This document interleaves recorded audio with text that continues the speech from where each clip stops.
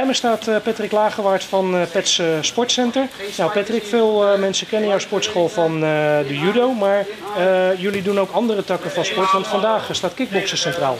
Ja, ja dat klopt. We zijn een beetje nou ook de andere weg ingegaan. Tegenwoordig doen we ook veel met, met de thai-boksen, boksen en MMA. Dat, dat is een beetje nieuw in ons pakket geworden, dat klopt. Nou nu vandaag is een bijzondere dag, want je hebt de wereldkampioen kickboksen in huis gehaald. Ja, heel grappig. Een van mijn, mijn oude topjudoka's. Eh dat is ook een, een kickbokser geworden. Nou, en ik wou dat op gaan starten. En eh, zodoende ben ik bij, eh, bij Louis Tavares gekomen. Dus ik heb gelijk een nieuwtje. Nou, hij staat hier niet alleen vandaag les te geven. Ik heb hem eh, van de week eh, vastgelegd. Dit is mijn nieuwe trainer. Nou, dat is eh, fantastisch nieuws, want eh, het is wel denk ik eh, iemand die eh, ook met name jongeren eh, kan inspireren om eh, te gaan kickboksen.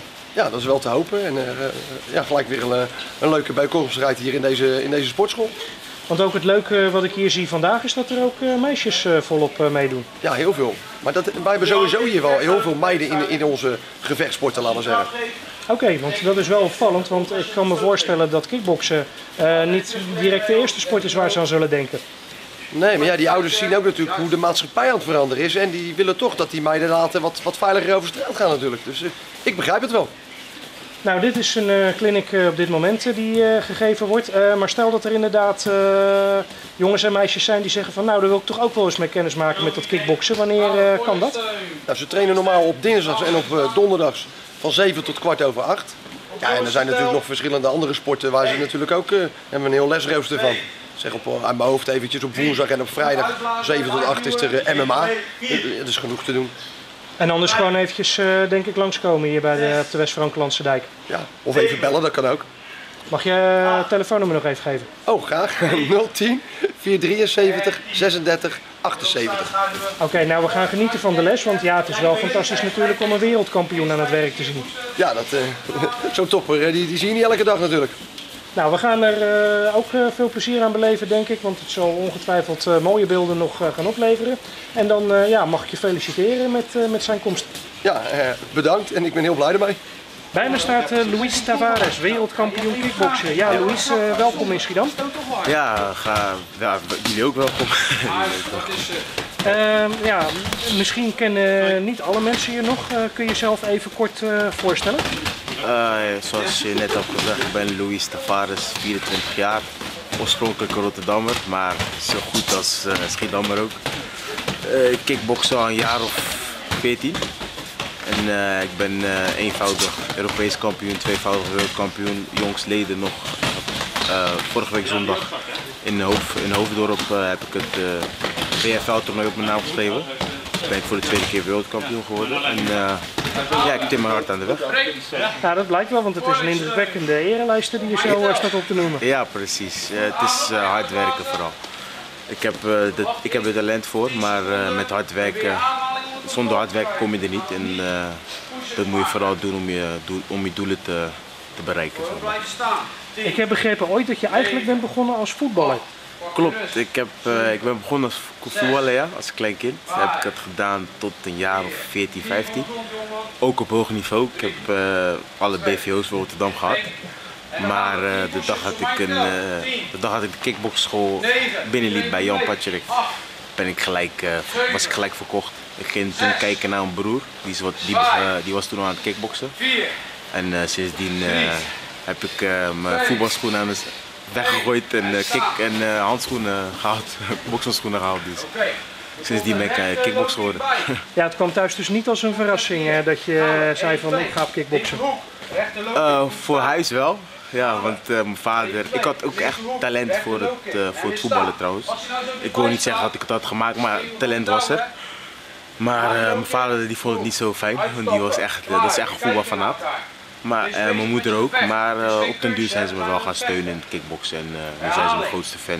Dus eh, eind goed al goed. Ja, is goed om te weten dat Ja. het zo allemaal goed komt. Ja, precies. Nou, je geeft hier nu eh, op dit moment eh clinic hè, bij eh, Pets Sportcenter. Ja. En wat me opvalt is dat er heel veel eh, ook eh, jonge jongens en meisjes eh, hier zijn. Ja, voornamelijk geef ik, eh, voornamelijk zijn het jonge kinderen. En eh, ik probeer altijd de kinderen wat mee te geven, discipline ook. Het is leuk voor hun dat ze, dat ze, dat ze meedoen. En eh, ik geef hier ook gewoon les, zeg maar, vanaf nu. En het zijn ook voornamelijk aan kinderen. Ik vind het leuk om aan kinderen les te geven, ook de ouderen natuurlijk. Maar als je eh, tijd kan stoppen in een kind, je ziet ze vooral groeien, de vooruitgang. Het is alleen maar mooi om te zien. En als je daar deel uit van kan maken, doet mij voldoening. Wat is, het belangrijk, wat is het belangrijkste wat je moet hebben om aan kickboksen te doen? Het belangrijkste, ja, ik zeg altijd eh, een stukje talent. Maar dat, dat is niet eigenlijk het belangrijkste, maar je moet er wel aanleg voor hebben. Maar echt het belangrijkste is eh, het doorzettingsvermogen toch wel. Want het is geen makkelijke weg. Om de top te halen, om de top te bereiken, het is geen makkelijke weg. Het is met vallen en opstaan. En vaak heb je ook mensen om je heen die, die, eh, die het, die het misgunnen, zeg maar. En eh, dan moet je ook mee eh, om kunnen gaan. Weet je, er zijn meer mensen die tegen jou zullen zeggen van je gaat het niet eh, bereiken dan wel. En dan, daar moet je mee om kunnen gaan. En moet je dan ook nog tegen het eh, vooroordeel, eh, in dit geval dan leuk eh, opboksen, eh, dat eh, mensen ook zeggen dat kickboksen een agressieve sport is? Ja, ja kijk, eh, je moet er wat tegen opboksen, maar meestal zijn het ontwetende van buitenaf. Want eh, als, je, als je even in een sportschool een kijkje komt nemen, dan zie je heus wel dat het, eh, het is wel agressief, maar het is gecontroleerd vind ik. En je weet ook wanneer je het moet gebruiken en wanneer niet. Ik zeg altijd van sinds dat ik op kickboksen zit, kan ik niet meer herinneren dat ik op straat heb gevochten een keer. Dus dus eh, kijk, tuurlijk zitten er rotte appels tussen. Maar die heb je overal. Die heb je ook bij het voetbal, heb je ook bij, eh, noem maar op. Dus, eh, maar ja, het is een agressieve sport, maar degenen die, eh, die er echt voor gaan, zijn altijd, die weten, die weten waarvoor ze het doen en die doen het ook niet buiten de sport om en op straat of zo. Dus ja, voordelen, voordelen zou je altijd hebben, maar je moet ermee om kunnen gaan. Precies, en zo proberen we ze ook eh, zoveel mogelijk eh, weg Ja, te halen door dit soort reportages Ja, te maken. precies, precies. Daar doe ik het ook voor. Het is om, om die vooroordelen te, te weg te laten gaan en, enzovoorts. Dus.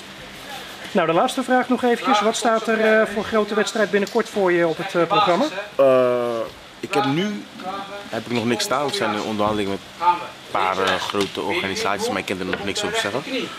En ja, door die toernooi wat ik jongstleden heb, vorige week zondag heb gewonnen, is mijn naam wel, ja, het ze niet meer om me heen. Dus ik word gevraagd voor overal eigenlijk. Maar het is nu zoiets van, eh, nu moet ik een goede stap maken. Dus we zijn al, al onze opties aan het bekijken. En eh, we zullen zo snel mogelijk een goede stap maken. Dus, eh, het is even eh, met mijn team om de tafel gaan zitten. Mijn trainers, mijn, mijn begeleiders, wat het beste is voor me. En eh, als het goed is heb ik wel weer in december een partij, maar ik kan er nog niet eh, zo over zeggen. Oké, nou in ieder geval ga ik je heel veel plezier toewensen in Schiedam. En hoop ik dat je heel veel eh, mensen hier eh, veel plezier kunt geven in het kickboksen. Ja, dankjewel, dankjewel. Ik probeer het vaak te doen. Ik geef nu ook les hier bij, eh bij Pet Sports. Dat doe ik met eh, veel plezier. En ik hoop zoveel mogelijk kinderen aan te trekken. Niet alleen, eh, niet alleen hier, maar ook gewoon dat jongens, jongens eh, aan het kickboksen te krijgen. Zeg maar gewoon van de straat.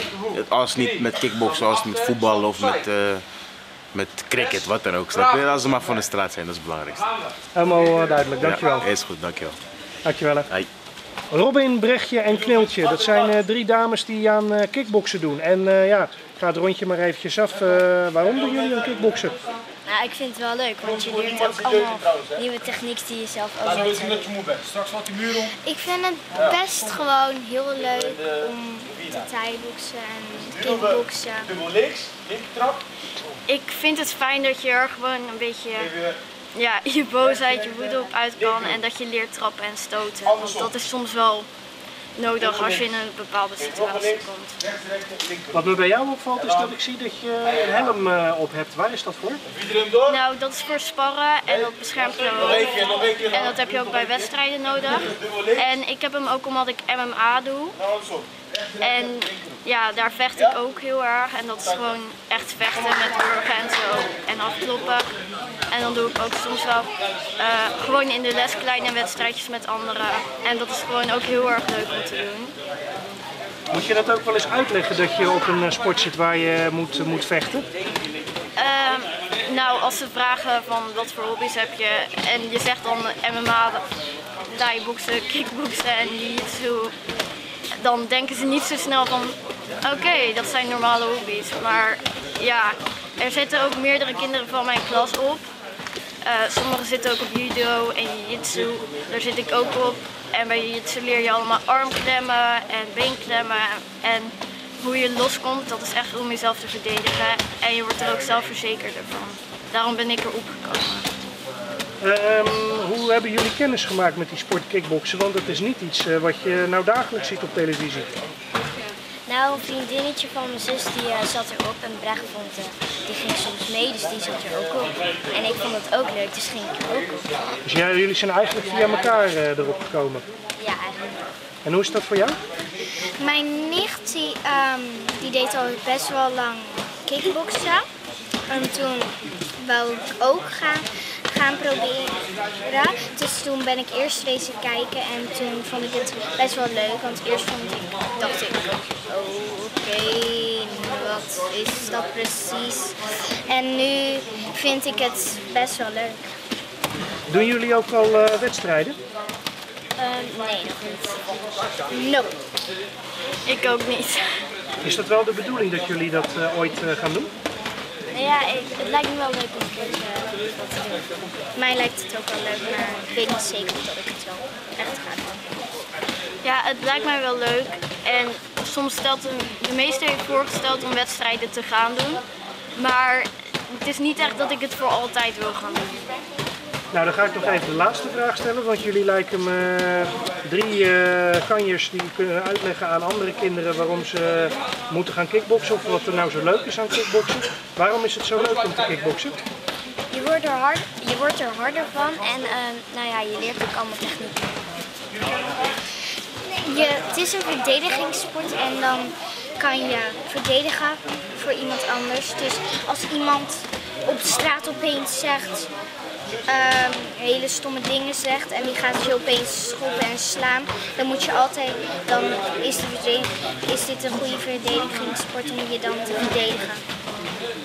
Uh, ik vind dat je er zelfverzekerd van wordt en dat je echt goed leert hoe je jezelf kan verdedigen, wat de anderen ook al zeggen. En ja, het maakt je gewoon echt heel erg sterk. Oké, okay, nou helemaal goed. Nou, dan ga ik jullie nog heel veel plezier toewensen, dames. En heel veel uh, plezier ook uh, in de toekomst bij kickboksen. Dankjewel. Dankjewel. Doei. Hey, applaus jongens voor de training.